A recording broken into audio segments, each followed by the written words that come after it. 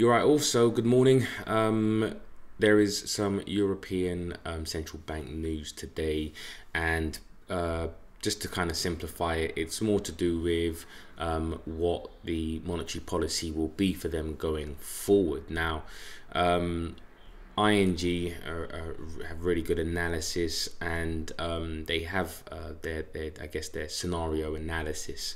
So uh, I like this sheet, and what it basically does is just highlights and shows you what um, they think is likely to happen to price on the right hand side if these so if this certain criteria is met. So um, ING's base case is that the European Central Bank will be neutral. So the central bank, European Central Bank, have got, a, you know, they're going to comment on various different um, uh, aspects of their monetary policy, and this is basically what ING think is going to happen on, on, on all four. And if it does happen on all four, then the likelihood, again, we're dealing probabilities here, is that the euro will probably stay around the 120 mark because there's nothing really to suggest that it should go higher.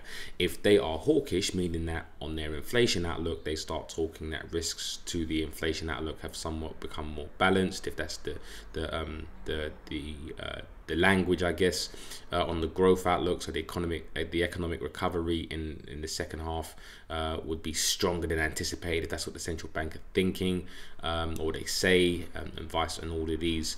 Then you should probably see a push up to 122 if they do come out as dovish meaning that on the inflation they think that um, there's a return to low core inflation in 2022 growth outlook recovery will, be, will gain momentum over the summer but high uncertainty, etc., etc., then you're looking at one uh, one eight fifty. So, and we could see a very dovish um, ECB.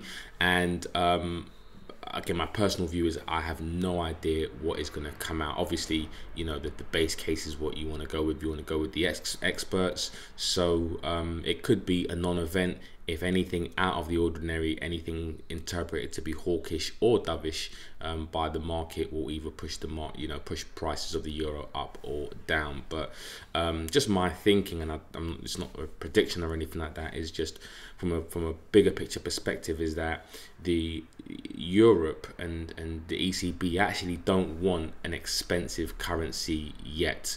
If the currency gains um, in um, in value and appreciation. In fact, what it does is it, it hampers uh, the economy um, and inflation. Yeah, and I have a video about that um, about this in the. If you go to the uh, number four under fundamental analysis, interest rates. Uh, and inflation. This this this webinar here that I posted um, uh, a few uh, maybe a month or so ago um, this this is uh, definitely a uh, worth a watch and it really explains the relationship between inflation interest rates and GDP and uh, the effect of an, an expensive currency on um, on, um, on on inflation and and the economy so going back to um, you know uh, to this uh, the, the, point is really is that is that I think I don't think that they'll be hawkish before they've even had a chance. Sorry, they before they've even had a chance to even for their for their economy to even grow. That is probably very unlikely, even though obviously it can happen. Probably base case is to be more a bit more neutral to see what happens. But um, they, they there is a possibility that they could also be dovish simply because they want a weaker euro. They actually do want a weaker euro. The the, the, the and the US actually want a weaker dollar. The Federal Reserve want a weaker dollar. Um, or actually, matter of fact, no, they don't. Um, in a sense that that they've already they're already achieving their inflation target. So in fact, they don't necessarily want a cheap um, uh, dollar, but they would want one if they hadn't reached their two percent uh, overall inflation target. So the central bank of um, the ECB actually want a, a, weaker and a devalued currency so that they can reach their inflation target. And actually, in fact, the uh, Federal Reserve um, uh, probably want a more expensive currency at the moment so that they can kind of stem inflation. So that if, if the central banks can get their way, then Um, in fact, that should lead to a euro dollar uh, downside if the market does agree. At the moment, the market seems to have uh, a different uh, opinion on the euro dollar.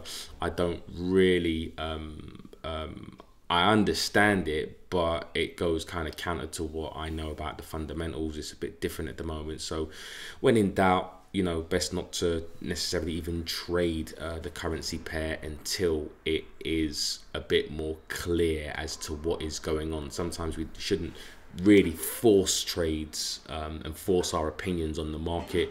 Whatever the market thinks and whatever the sentiment is, if, it, if it's counter to what we know to be true, maybe it's just time to not trade that pair until um, you know uh, uh, something um, uh, the, or the sentiment and the fundamentals do become clear. So there's conflicting, a lot of conflicting flows around the euro and around the dollar. So um, for me, it's not. It's probably becoming a pair that I'm gonna not be too interested in because there is a lot of um, uh, conflicting and confusion and um, confusing information. But anyways, guys, uh, that's going to be the news for today. So if you see prices start to shoot up or shoot down, that's probably this is probably the reason why. Anyways, guys, take care and I'll speak to you soon.